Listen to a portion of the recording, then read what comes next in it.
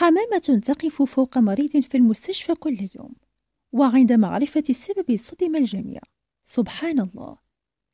كانت الحمامة تطرق نافذة المستشفى كل يوم وبعدما اكتشفوا السبب أصيبوا بالصدمة.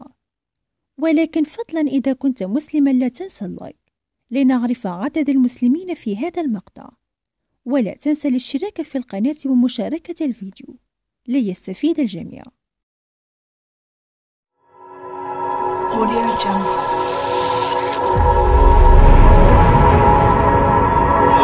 Audio Jungle.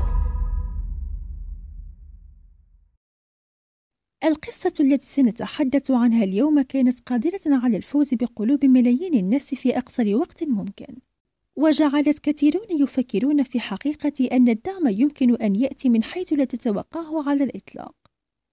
القصة وقعت منذ وقت ليس ببعيد، كما قالت إحدى الممرضات العاملات في مستشفى المدينة. عندما حضر الرجل المسن إليهم كان مصابا بنوبة قلبية.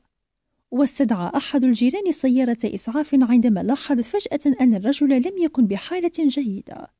وفور وصول المريض توجه إليه الأطباء وعمال طاقم المستشفى على الفور. وتم إنقاذ الرجل. بالطبع بسبب الشيخوخة واحتمال الانتكاس دخل المريض المسن إلى العناية المركزة. لم يكن ليتخيل أي من موظف المستشفى أنه قريبا ستبدأ أشياء غريبة في الجناح.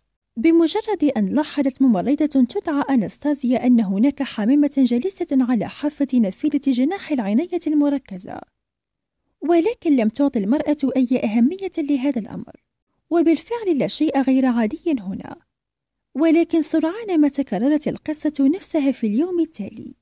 ظلت الحمامة جالسة عند النافذة تنظر إلى الرجل في الجناح ولا تخاف من المطر أو الحرارة. ومضى الوقت وعاد المريض تدريجيا إلى رشده. وبعد فترة تم نقله إلى جناح عادي للمرضى الآخرين. ولكن بالرغم من أن المريض غير مكانه إلا أن الحمامة لم تختف من النافذة وتحركت إلى نافذة المريض الجديد. واستمرت في الجلوس هناك إنه أمر غريب. أليس كذلك؟ ولكن بعد ذلك كان هناك الأغرب في بعض الأحيان لم تعد الحمامة إلى مكانها باستمرار فحسب بل كانت تطرق بعصبية النافذة بمرقارها. استمر هذا لعدة أيام وعندما فتحت نافذة الجناح طارت الحمامة داخل الجناح وهبطت على السرير الذي ينام عليه الرجل المريض. لم تستمر الحمامة طويلا حتى قفزت إلى حافة النافذة وجلست عليها. وعندما قامت الممرضة بجولة لاحظت الحمامة وأبعدتها على الفور. ولكن بما أن ذلك كان في الصيف كان على طاقم المستشفى فتح نوافذ كل الغرف. وفي اليوم التالي عادت الحمامة إلى النافذة نفسها مرة أخرى وبدأت في فعل الشيء نفسه. في البداية اعتقدت أنستازيا أن عليها أن تطرد الطيف غير المرغوب فيه. ولكنها لم تفعل ذلك. قررت مراقبتها. كانت الحمامة تجلس على السرير ثم تعود إلى النافذة. وبعد فترة طارت من النافذة وحلقت في مكان قريب. وبالمناسبة كان يحدث هذا في كل يوم. الحمامة تأتي حتى وإن كان الرجل مستيقظ وبالطبع لم يبعدها الرجل العجوز. وفي أثناء مشاهدة ضيفه كان يتمتم بهدوء بشيء. ولم يرفع عينيه عنها. وبعد فترة كان الأطباء راضين عن نتائج العلاج وبالتالي سمحوا للرجل بالتنزه في الحديقة. الممرضة راقبته من النافذة وعندما خرج الرجل إلى الشارع تجمع الحمام حوله. لذلك قام بسحب قطع الخبز من الغداء وإطعام أصدقائه. كانت الممرضة مندهشة من هذا الحب من الطيور للمريض لكنها ما زالت لا تعرف. لماذا يطير الحمام إلى الرجل بهذه السرعة؟ كانت الفتاة مهتمة أيضا بسؤال آخر لماذا لم يقم أحد بزيارة المريض خلال فترة العلاج كلها؟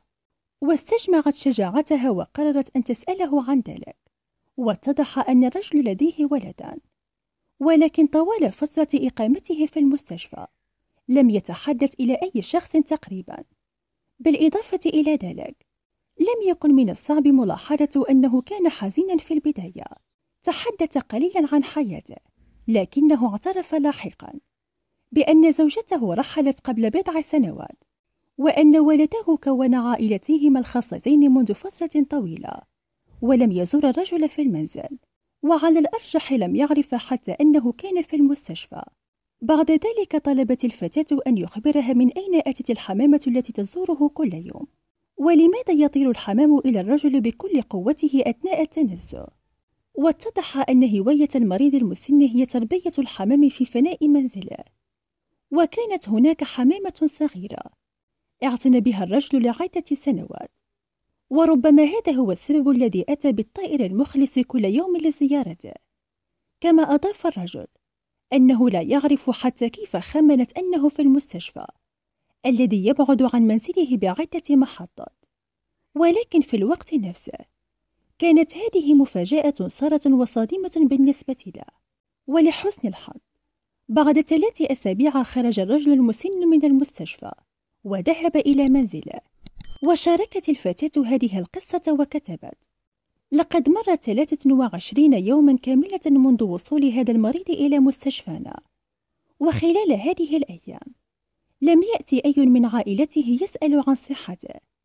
لكن هذه الحمامة كانت تطير كل يوم وتجلس على سريره وتبقى لمدة ثم تعود مرة أخرى إلى السماء. لا ينسى الناس ولكن هذا الطائر يتذكر. فلا تنسوا والديكم المسنين فالطيور ليست أفضل منكم. لأنه من المحزن أن تكون الطيور أفضل منكم وقادرة على الرحمة أكثر منا. المكالمات الهاتفية العادية يمكن أن ترضي آباءنا والوقت الذي يقضونه معنا لا يقدر بثمن بالنسبة لهم. فكونوا من البرين بالوالدين يرحمكم الله. شكرا لكم على متابعة الفيديو ولا تنسوا الإعجاب به ومشاركته والاشتراك بالقناة.